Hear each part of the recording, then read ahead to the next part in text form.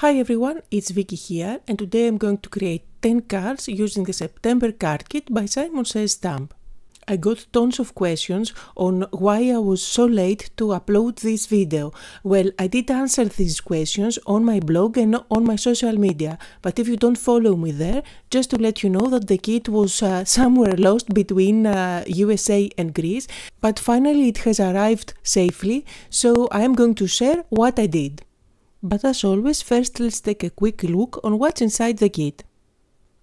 The kit comes packed with uh, great goodies that are great um, stash builders. So let's start with these two bottles. These are um, crystal drops. So they come in uh, two different colors as you see in the kit. The one, this is a beautiful uh, silver glitter one, and the other one is uh, Caribbean Ocean. Now you see that it has a nice fine tip, so you can create your own drops.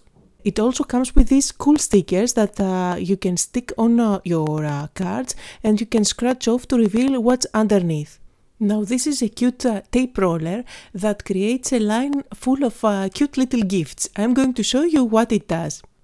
Just use it as a regular tape adhesive, but instead of uh, glue, you get all those cute little gifts. You also receive tons of puffy stickers as well as the clear stamp set. This is for birthdays and it matches perfectly the scratch off stickers.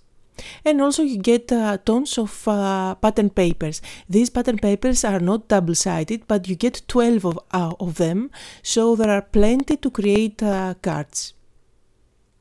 And as I am browsing through them quickly, just to let you know that this kit is already sold out on Simon Says Stamp, but in uh, any case, if uh, you want any of the supplies that I am using today, uh, I am going to link them separately down below in the description area. And these are the colors of the 5 cardstocks that you get in the kit that match perfectly the pattern paper. As always, I am going to start by cutting those cardstocks in half lengthwise and then I'm going to fold them and this way I'm going to create my 10 card bases to start with. And here are all the card bases ready to go, so let's start with card number 1. For my first card I'm going to use this uh, rectangle die and I'm going to cut out a piece out of this uh, pattern paper. I really love the colors of those polka dots and uh, I think it's great for a birthday card. I am also going to use one of uh, these um, banner dies. These come from a latest uh, release by Simon's Stamp and I am just cutting out a scrap uh, white piece of paper. I made sure that this is uh, wide enough so that I can fit in the sentiment from the stamp set that says happy birthday. I am stamping with black ink and I also made sure to chop off a little bit of this banner to make it straight. Now with my pencil and a ruler I am uh, uh, marking four different points at the top of this uh, banner and with my Crop-A-Dile I'm going to create four different holes. In each one of those holes I am going to use an eyelet and I'm also going to make sure that I use different colors of eyelets that match perfectly the colors of my pattern paper. So I'm going to use a yellow, a pink, a green and a blue. I'm just trying to find out the colors here.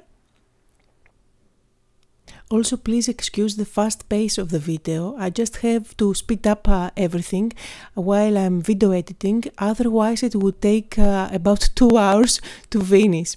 So anyway, I am using my Crop-A-Dile here to make sure that I set uh, those eyelets in place. And then I'm going to use some white thread. And I'm going to thread it up and down through those holes. I'm going to place the banner at the very top of my panel and I'm going to secure it with some foam tape at the back. By the way, this foam tape is by Scotch and I am going to link that below in the description area. So I am uh, going to add some foam tape at the back and this way I am creating a little bit of dimension. I'm peeling off the foam and uh, I am going to stick it at the top and secure the ends of uh, the thread at the back with some scotch tape. So this is going to be the main panel for my card. I have added some uh, foam tape at the back as well and I'm going to stick it down on my yellow card base.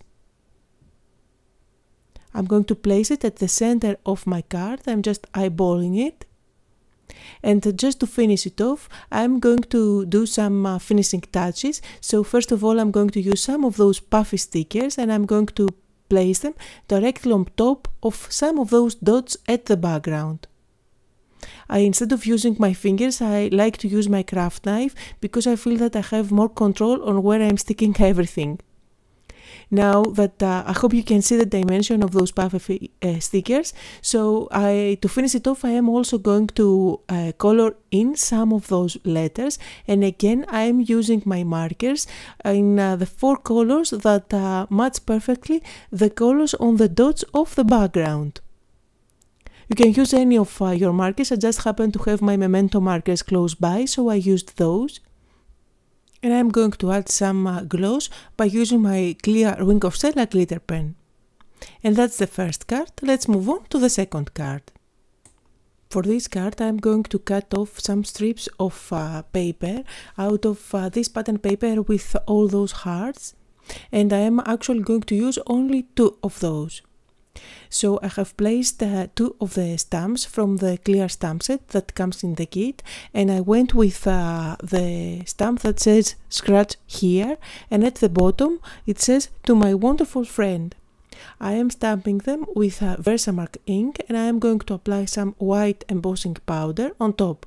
Now the tool that I have used previously is uh, a powder tool that applies some powder on my pattern paper and that helps the, this embossing powder to stick only where it's supposed to. If you get some parts uh, stuck somewhere that you don't want to, you can use a soft brush to wipe them out just like I did. So now I'm going to use my heat gun and set the powder I just love how the powder melts. Uh, no matter how many years I'm uh, using embossing powder, it's still uh, a wonder to me. So anyway, I am trying to place uh, to decide where everything is going to be placed. So now I decided where all those little arrows are going to go. Uh, the idea is to create three uh, different areas to scratch off. So I am uh, placing the arrows showing all those three different areas. Just to make sure that I don't mess up, I am uh, doing my embossing step by step and not everything uh, all together. So I first stamped and embossed the sentiments, now I am doing the arrows and then I am going to stamp again the sayings. Now the sayings on this stamp set are um, made uh, small so that they can fit just behind those um, scratch off stickers. I am going with uh, the one sentiment that says uh, you are amazing, applying the powder there. I am also going to use another one that says love you and the last one that says you rock. I have applied my embossing powder, melting it, and I have pretty much set up everything there. Now I am going to use the stickers to cover up what I want the recipient to scratch off. So I'm going to use the bigger one on the bigger sentiment and the smaller ones on the rest of them. I'm going to show you later how uh, these work. So now I'm going to apply a little bit of uh, tape adhesive at the back and I'm going to stick those strips of uh, paper. These are going to add a little bit of color on the sides and what I like about this card is that it, you can give it to a guy as well. I'm going to use my scissors to cut off the excess of those uh, strip papers and by using some tape adhesive at the back I am going to stick it directly on my card base.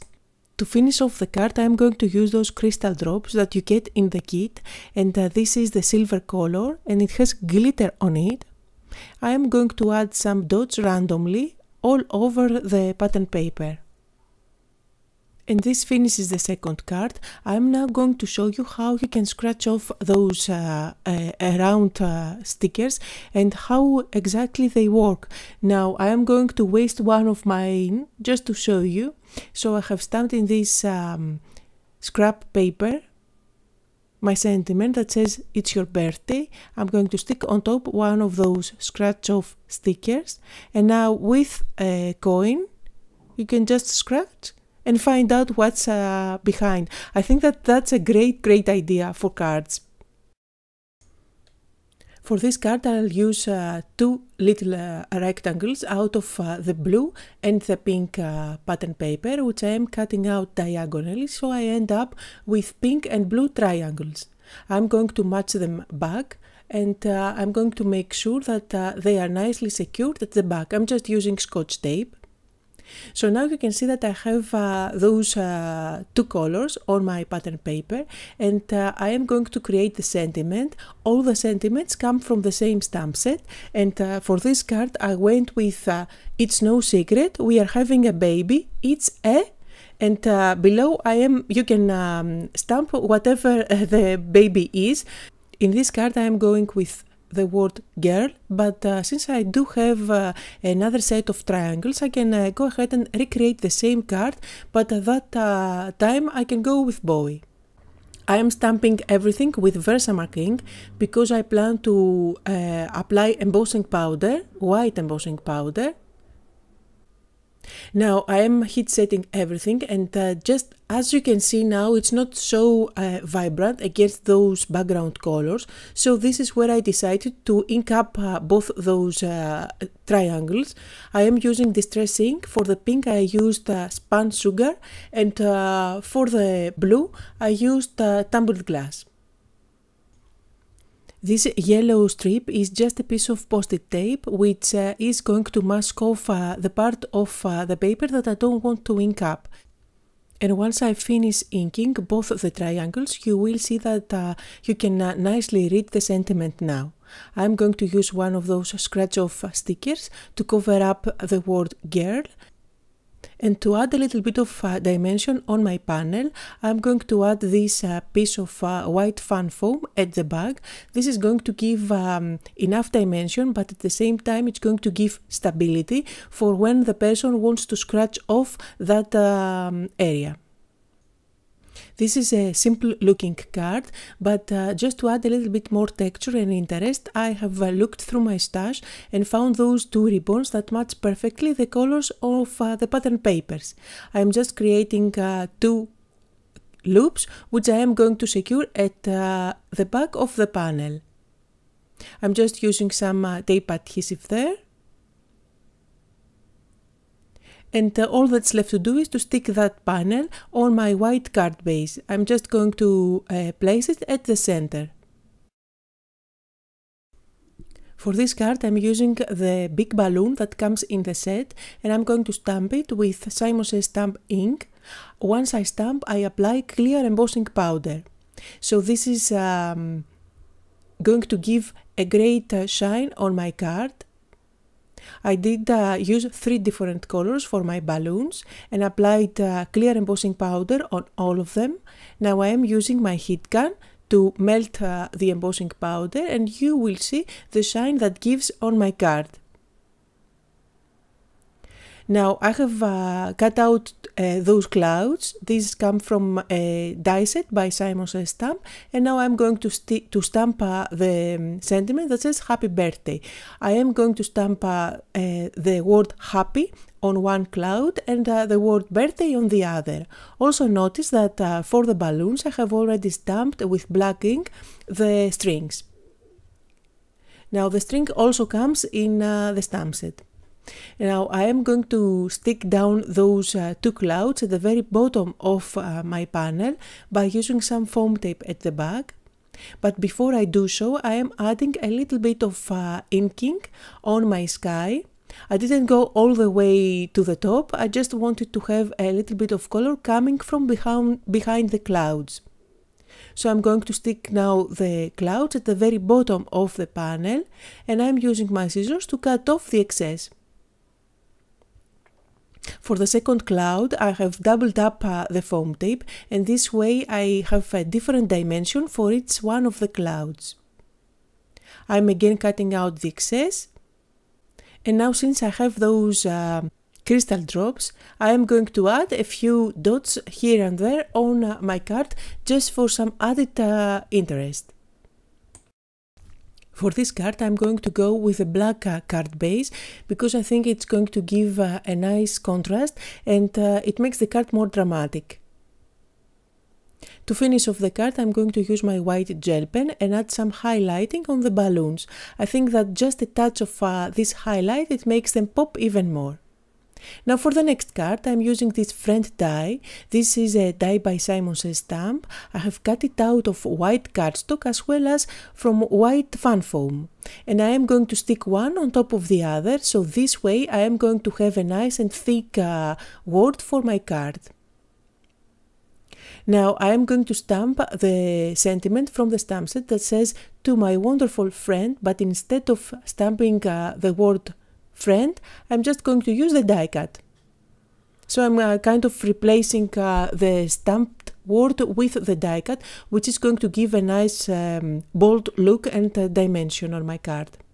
I am sticking one on top of the other, so the paper on top of the fun foam, and for that I have used my Tombow Mono glue.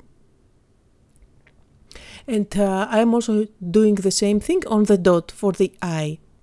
And while I'm doing that, just to let you know that my uh, feature uh, of uh, Simon Says stamp card kits that uh, I create 10 cards out of one card kit is uh, actually a monthly feature which uh, I am going to continue because I know that you love it and I get so many emails and feedback about that. It just depends on when it arrives at my home so that I can make the video and uh, make it public. Sometimes it takes a lot of time just because I live in Greece, it might uh, get stuck somewhere in the middle. Now I'm using a thin uh, black pen to draw some lines. I'm using my ruler just to make sure that everything is nice and straight. And uh, I'm going to stick at uh, the very top of those lines those puffy stickers. So they will end up looking as uh, tiny little balloons. I have made sure that all those straight lines go on the loops of uh, the word wonderful. And I am also drawing the bows for the strings. And now that everything is ready, I am going to stick down the word friend and I am using again my Tombow Mono glue to do so. Dies that cut out thick words are my favorite because I think that they give a great impact on my cards. So this is uh, a great uh, die to have. So anyway, I am uh, sticking down the dot as well. And uh, my panel is pretty much ready. I need to stick it down on my card base. I'm using some tape adhesive at the back and I am using the yellow card base for this card. I think that it matches perfectly the colors of uh, the paper. And let's move on to the next card. Now, just because I had these blue crystal drops in the kit, I decided to go monochromatic and match uh, the color of those uh, crystal dots. So I am using a, a, white panel. I am just masking off just a hair out of this panel. This is going to give a nice border at the end and I'm going to use the two balloons that come in the set, the bigger and the smaller one, and I'm going to stamp um, some balloons at the very top of my card by using four different colors of Simon Says Stamp inks, all they are blue, different shades of blue, which is going to end up having a monochromatic card. I am stamping uh, some on top of the other that give a nice um, dimension and um, I am switching from one color to the other. Some are brighter, some are lighter and this is going to give a great uh, illusion of dimension. And once I'm happy with the amount of the balloons, I'm going to peel off the sticky tape and you can see the nice border that that gives me. I think it makes uh, the panel look more finished. Now I'm going to use my white uh, gel pen and add some highlights just I did uh, just like I did on the previous card. This is going to help uh, the balloons uh, look more dimensional even though I haven't uh, done any techniques on shading. Now I am going to draw some strings for each one of the balloons and this time instead of uh, using uh, the stamp that comes for uh, that, I just uh, draw uh, nice curly lines. And with this card I just couldn't stop, I kept adding more and more uh, finishing touches, so now I'm drawing bows. And then I am going to use my crystal drops to add some dots and this is going to make uh, the card more interesting and uh, more festive looking, as if it's uh, confetti.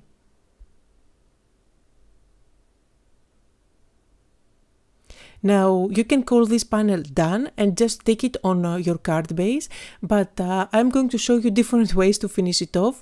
You can use your uh, clean, clear Wink of Stella glitter pen to add uh, some shine on each and every one of the balloons. And uh, if you want to take it even further, you can use some glossy accents on top this way you are going to have the glitter from the Clear Wink of Stella glitter pen, but at the same time you will get the gloss from the glossy accents. So I'm going to do that on all of the balloons. And I hope you can see how shiny they look now. And uh, once this is finished, I am going to stick it down on uh, the pale blue card base. So now for the next card. Now this is going to be a kind of a crazy card. I just had to be very creative. So I'm following one of uh, those lines. In this case I'm following the pink line and I'm going to cut all the way to the other side. I have also cut out one of uh, the corners there and I'm going to place it on top of my card base and just make a um, pencil line so that I know where exactly those papers are going to fall. Now I'm going to erase, erase the lines that are going to show if I stick the papers on top and now I know exactly where uh, I have that gap. On the pink gap I am stamping three different sentiments from the stamp set. I'm stamping everything with Versamark and I am going to apply white embossing powder on all of those rows and the idea is to pretty much cover up the whole gap. Now the sentiments that I have used are happy birthday, you are amazing and you rock. So here is how it looks now and now I'm going to stick down the paper by using some uh, tape adhesive at the back. This is going to add a nice dimension and uh, between those uh, pattern papers you can see the sentiments. It's kind of a creating and a unique card. I just had the idea and I had to try it out. So anyway, I am uh, using my scissors to cut out the excess paper to add some sparkle on the card, I am going to use the silver crystal drops that come in the kit and I'm going to follow the line that is grey. And this is the finishing touch. It matches perfectly the grey line and adds uh, that glitter that uh, the card needed, I think. So that's uh, the crazy card for today. Now let's move on to the card number 8. In all of uh, those uh, 10 cards, uh, one kit, uh, I usually make one shaker card. So this is the shaker card for today. I just created a frame using my uh, rectangle dies, one inside the other. I'm using some foam tape at the back of the frame, sticking uh, the acetate. For the acetate, I get tons of questions about that. I just recycle old packaging. And I am going to use my foam tape to cover up the back. This is going to create a nice um, box so that uh, my confetti is not going to go anywhere. Uh, on uh, this uh, dark pattern paper, I am going to stamp with Versamark ink the sentiment Happy Birthday. I am applying uh, white embossing powder. I'm going to heat set it with my heat gun. And this is going to be the back of my window. Now this is a very simple uh, window card design, but uh, really with uh, the truth is that with window cards you don't really have to go crazy. All those confettis going up and down in the window really make a great impact for the recipient. So now I'm using some uh, blue and uh, yellow sequins. I'm peeling off the foam tape and I'm going to back it up with the pattern paper. So my window is ready now, which I am going to stick uh, directly on top of my card base and I'm using the pale blue card base for this uh, card. I'm going to center it and that finishes uh, the eighth card. So let's move on to the next one. Now for the ninth card, I am going to use this circle on top of this pattern paper, which I am going to cut out. I'm using my Sizzix die cutting machine. And this is going to create a small window. I'm not going for a shaker card this time. So inside that window, I am planning to add one of those scratch off uh, stickers and uh, I am uh, going to go with, with uh, the sentiment that says happy birthday. There is a small one as well as the bigger one in the stamp set. So I'm going to stamp it with black uh, ink just at the center of uh, that hole there which I am then going to cover up with a scratch uh, sticker. Now before I stick that down I'm going to stamp directly on top of the scratch uh, sticker the sentiment that says scratch off. So the recipient knows exactly, exactly what uh, he has to do. I am uh, going to create a nice border now. I just remember that I haven't uh, used that uh, tape uh, runner with the gifts. So just to make sure that this is nice and straight, I used my ruler. I'm going to cut it out and create a small banner, which I'm going to use on my card. I'm going to stick that directly on my panel and uh, I have used uh, tape adhesive at the back to add uh, the dimension that I want. And if you follow me, you know by now that I always want some dimension on my cards. I'm pretty much incapable of creating a flat card. I'm just securing uh, this panel on my pink uh, card base and that finishes this card. For the last card, I'm uh, making a clean and simple card. I'm just sticking uh, those puffy stickers in rows on uh, this uh, small uh, white panel.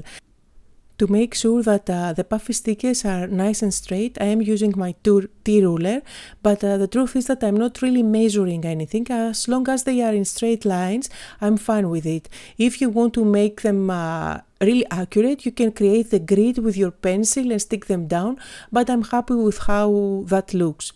Now at the center I'm not going to stick a puffy sticker, instead I'm going to stamp the sentiment. I'm going with you rock I have stamped it with black ink and then I am going to cover it up with one of those uh, scratch stickers. Now on that sticker I'm going to, to stamp the sentiment that says scratch off so the recipient knows what to do with it.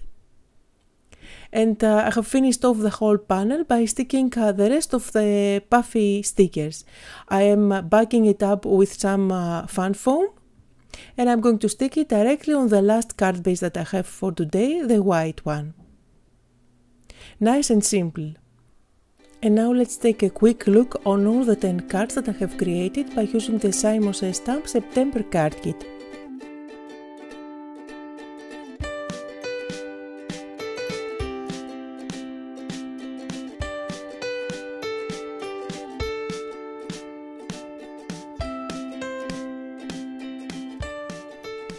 Now the leftovers. I do have the two bottles for my stash as well as the tape uh, runner. I have uh, many many more uh, stickers for scratch off cards. I have some puffy stickers. Of course I have the birthday stamp set. And finally I have two 6x6 papers unused and some leftovers from the pattern papers. And these were the cards for today. I hope you had fun and got inspired. And if you did, don't forget to leave me a comment as well as give me thumbs up on my YouTube channel. If you haven't subscribed to my channel already, make sure to do so. And if you love these kind of videos, don't forget to share it with your friends.